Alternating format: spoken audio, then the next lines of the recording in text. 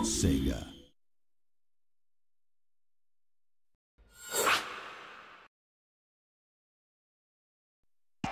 Tokyo, the daily grind, the heavy hum of an overpopulated metropolis overburdened with work and worthlessness. You pass the same old streets in a rundown bus on the same old seat. Take a trip down the grocery store for milk and eggs, through the same familiar square and across the same roads.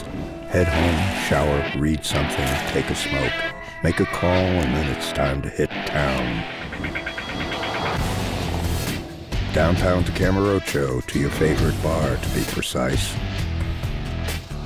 You'll enjoy several sakis, some beer, sushi, gently washed down with a dirty dance from your hostess, and if the mood's right, a spot of karaoke or some other fantasy you've got in mind. Then it's probably about time you got on with the job in hand. So it's out the back, up the fire escape, and onto the roof where your working day begins.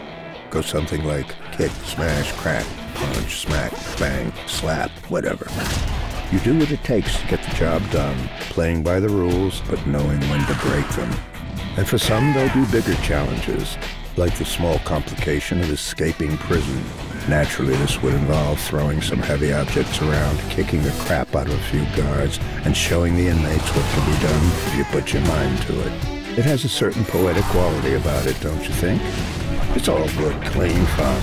Because in the Yakuza, you're taught to take pride and enjoy your work, value your teammates, and most of all, respect the boss.